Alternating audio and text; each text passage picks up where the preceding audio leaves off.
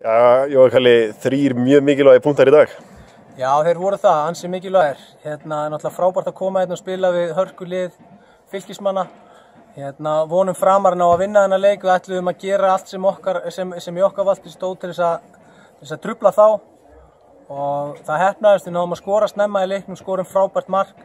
En ég hef alveg verið sáttur með fyrirfram að fá allavega stegin í dag. En strákarnir lögðu bara ótrúlega miklu að vinna á sig í dag til þess að ná þessum sigri og ég get ekki hrósaði nógu mikið fyrir þessa framastuðum í dag. Þetta var nú frekar taktísku sigur í okkur, getur við samlaði?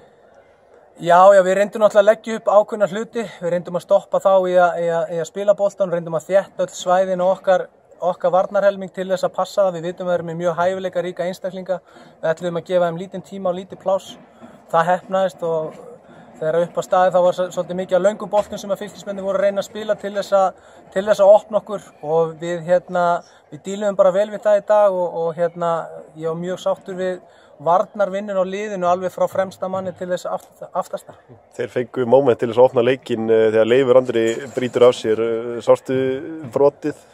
E, já, þetta er svolítið langt frá mér. Ég hef bara trúið að dómarinn hafi haft rétt fyrir sér, bara eins og í, í flestu öllum atriðunum hjá sér í dag. Hann, hann, hann dæmdi hennar leik bara mjög vel og já, allir þetta hafi ekki verið víti bara.